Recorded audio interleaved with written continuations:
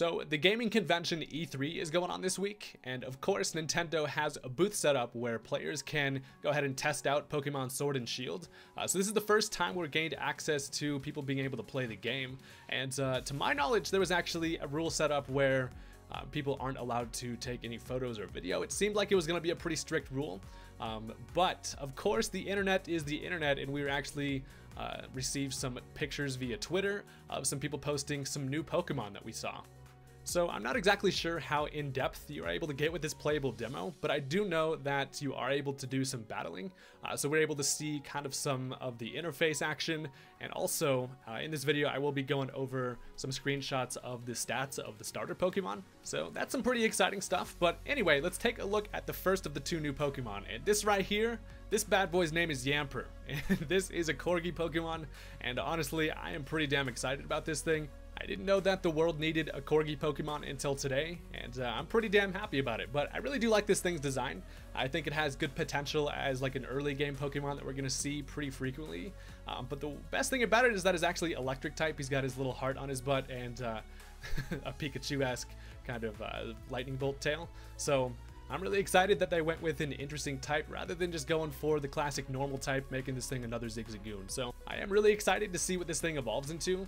I think it does have potential design-wise to be something pretty cool. I'm actually hoping that it does get a second typing, potentially Fairy, seeing as it gets access to Play Rough. Uh, but then again, we have seen Pokemon like Stoutland get Play Rough, and it's just kind of fitting for a dog Pokemon. But Another thing to mention is that this thing actually gets access to an all-new ability.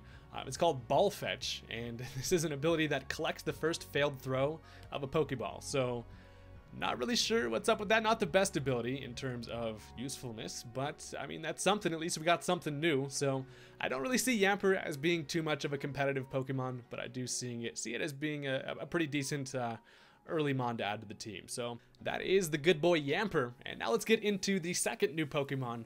And this is one that I'm really excited about uh, because it has a unique typing and I think this thing is badass. But this right here, this bad boy is called Impidimp. So aside from this thing's design, which I really do like, uh, the one thing that sticks out to me is going to be its unique type combo, uh, which is Dark and Fairy, which uh, has a lot of potential, at least in my opinion, to be pretty competitive. Uh, it's something that is going to be pretty fun to mess around with, honestly.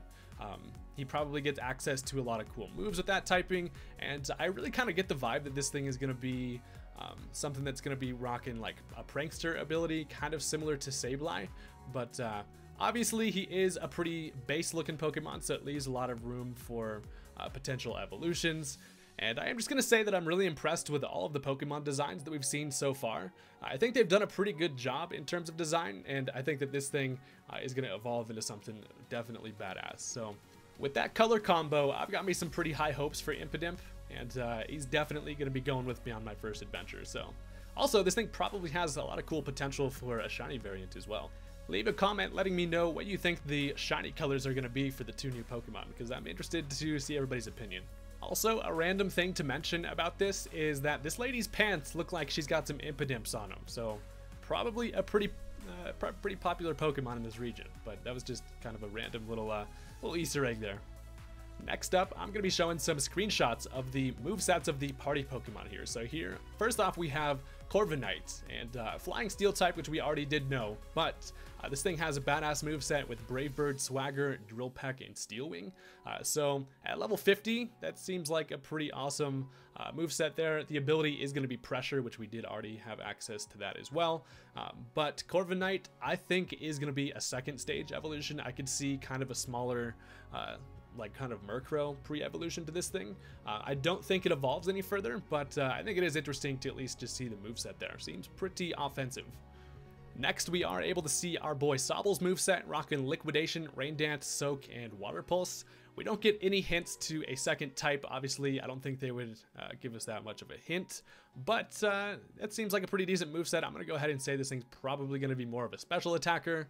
Uh, it seems obvious as we've kind of just seen what this thing does, but uh, that's our boy Sobble. Next, we have Scorbunny, rocking Flame Charge, Quick Attack, Double Edge, and Headbutt.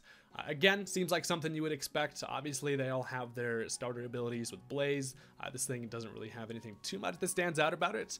One thing to note is that a lot of people saw that it actually had the move Double Kick from the last Pokemon Direct, and they're saying that it's going to be a firefighting type, but I don't believe that. I think it's just a pretty common early game move, especially for a bunny Pokemon, uh, but if it turns out to be firefighting, that, uh, that's kind of going to be a bummer. Last but not least, we are able to take a look at our buddy Grookey's moveset, which is Razor Leaf, Slam, Uproar, and Knockoff. Uh, so it is actually really cool that we are able to see knockoff from this thing. Uh, it kind of makes sense seeing as he carries that stick, he can just kind of whack you with it. But uh, it is cool to see um, this thing having uproar, which is something that you wouldn't really expect. I mean, he's kind of a kind of a loud boy, but uh, seeing knockoff, I think, is the biggest uh, talking point here. So uh, knockoff is not going anywhere. It's definitely around to stay in the competitive meta, and uh, Grookey's going to be rocking it. So in these next screenshots, we're going to continue talking about the starters, and this is actually going to show the stat page of uh, our buddy Sobble here. So uh, I am unsure if these stats are reflected by showing EVs. Um, if they are just base stats, it does give us kind of an interesting insight on what these things are going to do. Uh, but we see high special attack and high HP from this thing. It is definitely faster than I would expect it to be. Um, keep in mind that these are level 50 stats, but it is really cool to kind of get a little bit of a peek to see what we can expect these things evolutions to be like. But I do really like Sobble's stats. I think that Sobble is probably my favorite of the three starters, as uh, how can you not like this thing? He's freaking amazing. But yeah, so seems pretty well rounded overall. That special attack is insane and uh, much higher HP than you would expect. But uh, yeah, there's no question that Sobble is a primarily special attacker, which makes sense considering it's a water type, but the biggest thing is the speed. Um, obviously, it doesn't really show too much. I mean, the evolution could be slow, uh, as we've seen from the past, like Incineroar is super slow, but uh, yeah, Next up, we've got the boy Scorbunny, who is looking to be a pretty decent physical attacker with 115. Um, another thing to note here is that it's actually slower than Sobble, which is not something you would expect. You'd think this boy would be uh, pretty dang fast. It probably does get a lot more speed as it evolves, but uh, overall it seems like pretty basic stats. We definitely just, the main thing you get out of this is just kind of seeing that this is definitely going to be a, uh, a, physical attacker. So, so Scorbunny, going to be flare blitzing all over the place, and uh, it is another interesting thing there, as you can see, it's Dynamax level, so I'm not really sure what that indicates. Um, it does seem to have some bars there, but uh, Dynamax level kind of, I guess, is going to show you what it's going to be looking like at Dynamax. So uh, that is something that we're obviously going to have to wait to figure out, but I do actually really like seeing these screenshots because um, it's interesting, interesting for me to see kind of just the interface that they're working with. It does look pretty clean. A lot of people have been hating on kind of the interface, all the buttons and stuff that they're working with, but honestly, I think that they did a good job here. Uh, not a whole lot going on. It seems pretty basic, but uh, nice and easy to read. So seeing the interface is something that we haven't really seen at this level before, and uh, now we can take a look at our physical attack and bunny. So that is Scorbunny at level 50. And this thing should be called Score Rabbit. Why is it not called Score Rabbit? It sounds way better. It just rolls off the tongue. But uh, next up, we have, last but not least, the Grookey. And uh, what sticks out about Grookey is that it's pretty well rounded. It has nothing that really stands out too much. Um, its speed being pretty normal, it uh, doesn't really lean anywhere toward physical or special attacker. Um, it's kind of interesting to look at these stats as a level 50 um, base evolution, so you can't really get too much of insight, but I do think that this is going to be a mix attacker, which is really cool. Um, I always have really liked the ability to kind of switch from physical and special attacks, uh, but Grookey is kind of the one that stands out in that it uh, doesn't really seem to shine into uh, in any in any real uh, stat. So that is pretty interesting. I, I do think that Grookey is going to evolve into a big ass gorilla that is going to be amazing, but um, that is our grass starter boy.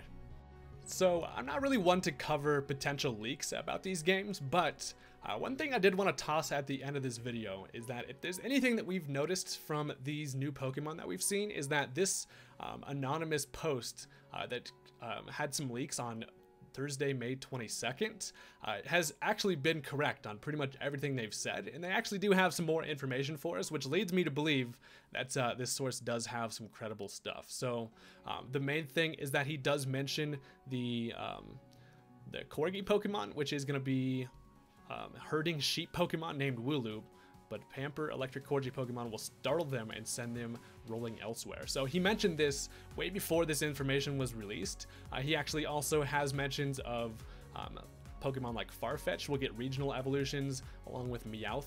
Looks like a ball of spiky gray fur. So if this is true, uh, it seems that all of this information in this leak are going to be true.